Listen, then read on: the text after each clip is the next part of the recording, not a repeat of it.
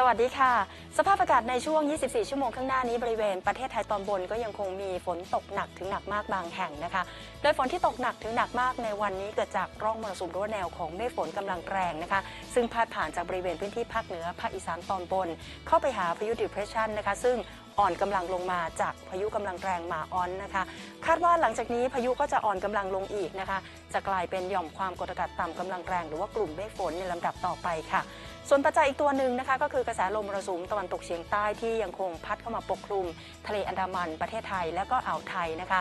ระยะนี้ก็ขอให้ผู้ที่อาศัยอยู่ตามพื้นที่ลาดเชิงเขาใกล้ทางน้ำไหลผ่าน และในบริเวณพื้นที่ลุ่ม ให้ระวังอันตรายจากฝนที่ตกหนักถึงหนักมาก ซึ่งฝนที่ตกสะสมนั้นอาจจะทำให้เกิดน้ำท่วมฉับพลันและน้ำป่าไหลหลากได้ค่ะ และในช่วงนี้เราจะมาดูรายละเอียดของสภาพอากาศในแต่ละภาควันนี้นะคะ รวมไปถึงข้อแนะนำสำหรับเกษตรกรในช่วง 7 วันข้างหน้ากันต่อค่ะภาคเหนือมีฝนฟ้าขนอง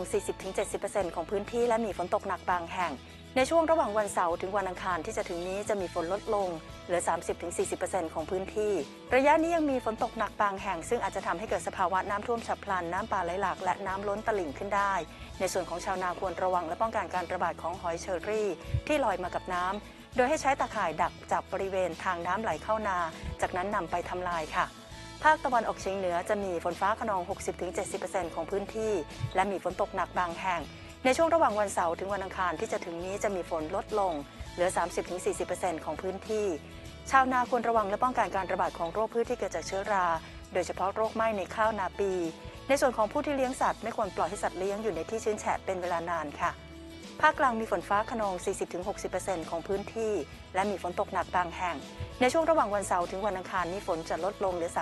30-40%ของพื้นที่ ในช่วงฤดูฝนนี้แมลงและศัตรูสัตว์ต่างๆ เช่นยุงเหลือบลิ้นไร จะเจริญเติบโตได้ดีนะคะ ควรระวังและป้องกันศัตรูสัตว์ดังกล่าว จะมารบกวนสัตว์เลี้ยงทำให้สัตว์เลี้ยงชะงักการเจริญเติบโตค่ะ และยังอาจจะเป็นพาหะนำโรคมาสู่สัตว์เลี้ยงได้ด้วย ผู้ที่เลี้ยงสัตว์น้ำควรถมขอบบ่อให้สูงขึ้นค่ะ และเตรียมวัสดุสำหรับกั้นขอบบ่อรวมทั้งอุปกรณ์สำหรับสูบน้ำเอาไว้ให้พร้อมใช้งานภาคตะวันออกมีฝนฟ้าขนอง 60-70%ของพื้นที่ และมีฝนตกหนักบางแห่ง ในช่วงระหว่างวันอาทิตย์ถึงวันอังคารนี้จะมีฝนลดลงเหลือ 40-60%ของพื้นที่ ฝนที่ตกหนักนี้อาจจะทำให้เกิดสภาวะน้ำท่วมฉับพลัน น้ำป่าไหลหลาก และน้ำล้นตลิ่งขึ้นได้ พื้นที่การเกษตรที่อยู่ในพื้นที่ลุ่มควรทำทางระบายน้ำออกจากพื้นที่เพาะปลูก เพื่อป้องกันน้ำท่วมขัง รวมทั้งควรระวังและป้องกันโรคพืชที่เกิดจากเชื้อราค่ะภาคใต้มีฝนฟ้าขนอง 40-60%ของพื้นที่ ในช่วงตลอดทั้งสัปดาห์นี้ และทะเลจะมีคลื่นสูงประมาณ 1-2 เมตรค่ะ ระยะนี้เป็นช่วงของฤดูมรสุมตะวันตกเฉียงใต้นะคะ ทางด้านฝั่งอันดามัน จะมีปริมาณและการกระจายของฝนมากกว่าทางด้านฝั่งอ่าวไทย ซึ่งอาจจะเกิดน้ำท่วมฉับพลันน้ำป่าไหลหลากน้ำล้นตลิ่งขึ้นได้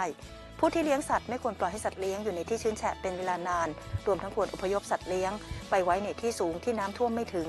เกษตรกรควรระวังและป้องกันการระบาดของศัตรูพืชจำพวกนอนค่ะและกลับมาติดตามรายงานสภาพอากาศได้ใหม่ในช่วงข่าวค่ำมิติใหม่ทั่วไทยก่อน 2 ทุ่ม สวัสดีค่ะ